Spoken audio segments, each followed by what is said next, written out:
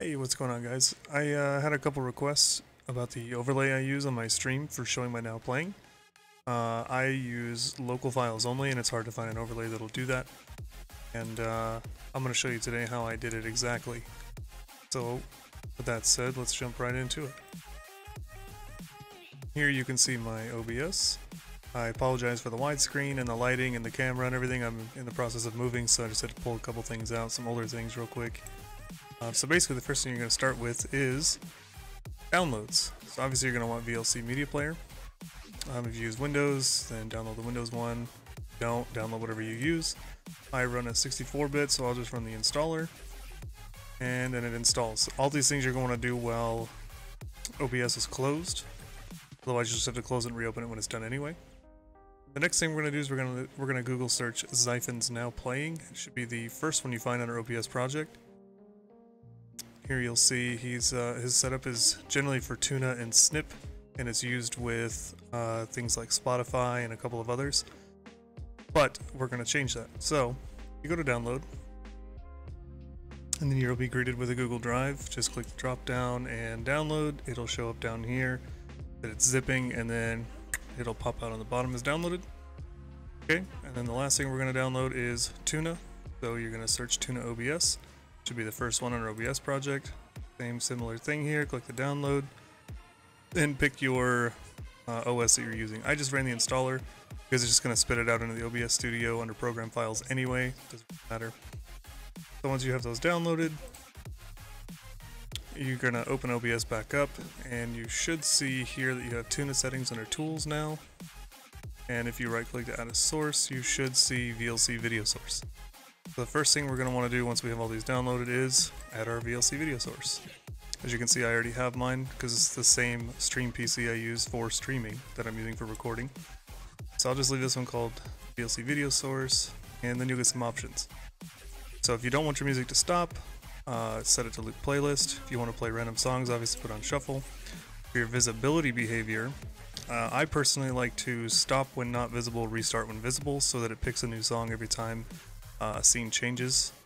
Generally, I'm on the playing scene the entire time, but sometimes I need to go to the break scene or I go to end, I want a new song to play.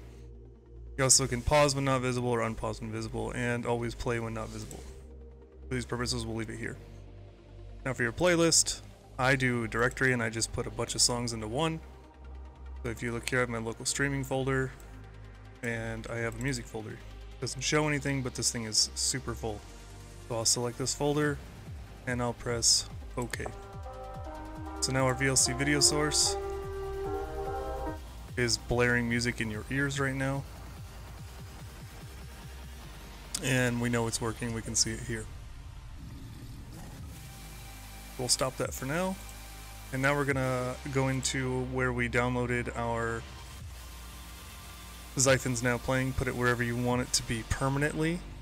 Uh, like I said, mine's on our local stream stuff, and in this particular, for this video, it's under for video, but my normal one is here. Okay, so we'll go back where you have it. This is what it'll look like. These are the things. Now you won't have artist, artwork, or track. You're going to want to edit song HTML. I use Notepad++. Okay, here's what you'll be greeted with, and what we're looking for is the txt files. so this should be called snip underscore artist.txt.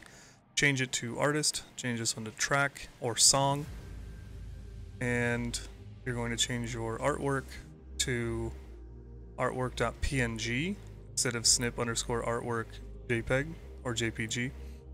It's important you remember the file extension is PNG. And then you'll change it here too while you're at it.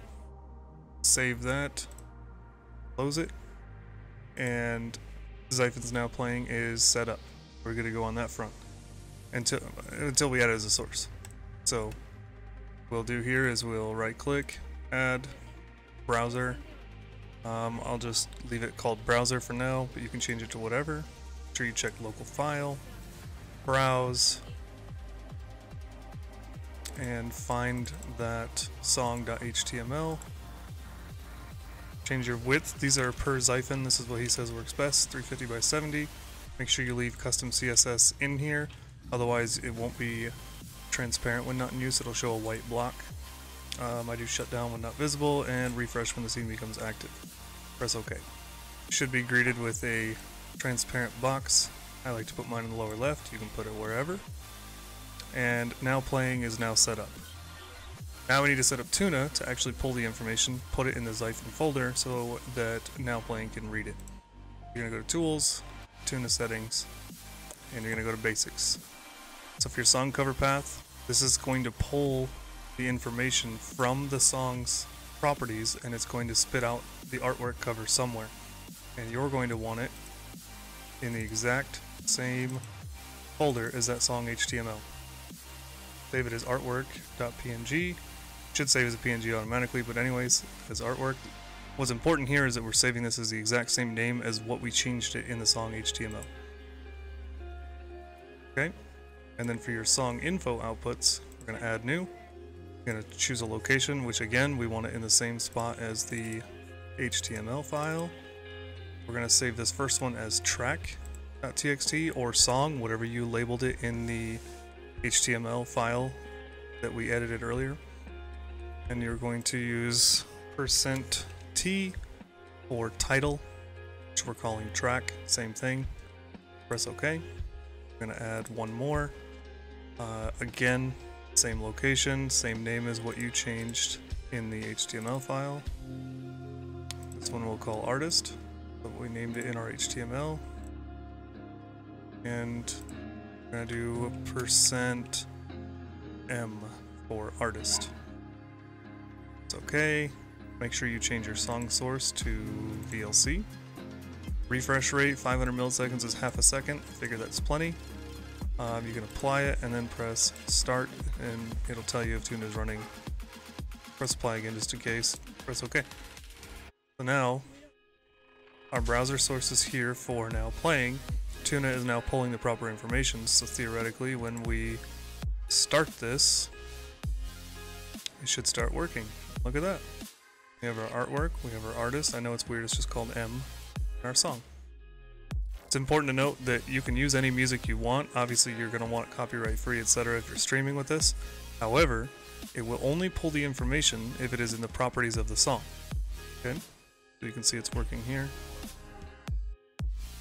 It's only going to pull the information if it's in the song. So let's go to my local stream stuff. This is my music folder. I get all of my music from Free Music Tunes on YouTube. It's all copyright free and they have playlists. And I use 4K video downloader to download it. You can copy the link to their playlist on YouTube and paste the link here and it'll parse all the videos and give you options if you want to pull the video and the audio or just the audio and in what quality you want it. Obviously depends on the quality it was uploaded at but you get what I mean. So if we look at this one, 25 scratch. Look at properties, details. You can see here, this is the only title.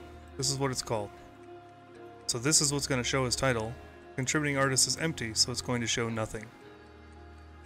However, if we go to something like, um, uh, let's see, Excello, you can see in the details they have a title, they have a contributing artist. So that's what's going to show as the title, and then the artist up top here. This should work with virtually any software you want to use or any type of music, any type of player, as long as you have a way to extract the information from the song and put it in the now playing's source uh, folder.